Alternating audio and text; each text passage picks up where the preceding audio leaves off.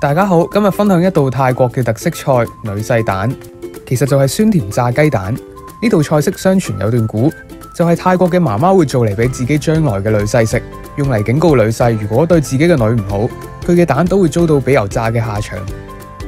但係實際上咧，大多數嘅泰國媽媽都會識得整呢道菜去俾自己嘅小朋友食嘅，因為貪佢酸酸甜甜好清新，亦都好啱小朋友嘅胃口。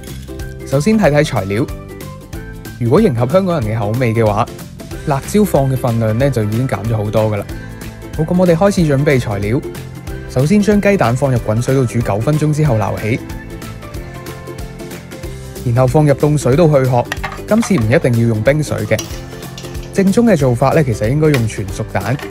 我就希望個蛋黃仲有少少鮮黃色，所以稍微煮短咗一陣。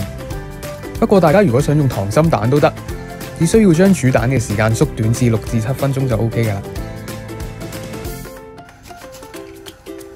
然後將雞蛋擎乾，放入滾油度炸到外皮金黃色。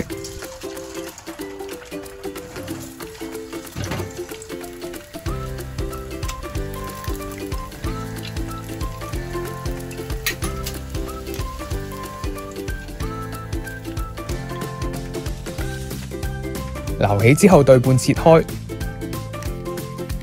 香茅切成段，將佢拍扁。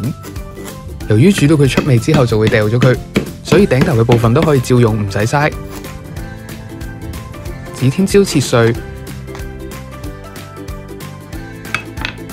青檸就榨汁，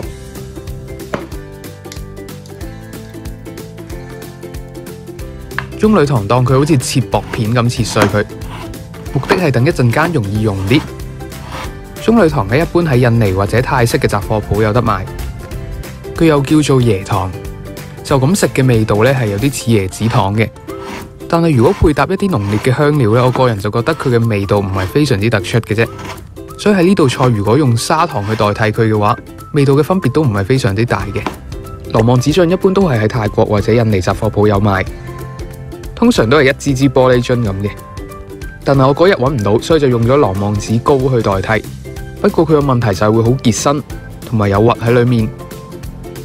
而羅望子就係一種主要生長喺印度、東南亞同非洲嘅水果。個人覺得味道類似嘉應子同埋酸梅，通常當成水果咁樣即食或者做香料。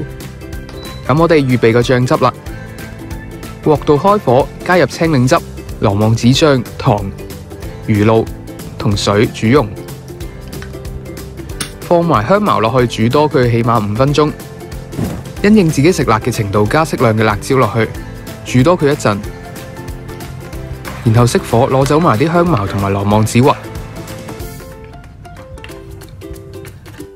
淋埋啲汁上去，散埋干葱，咁就大功告成噶啦。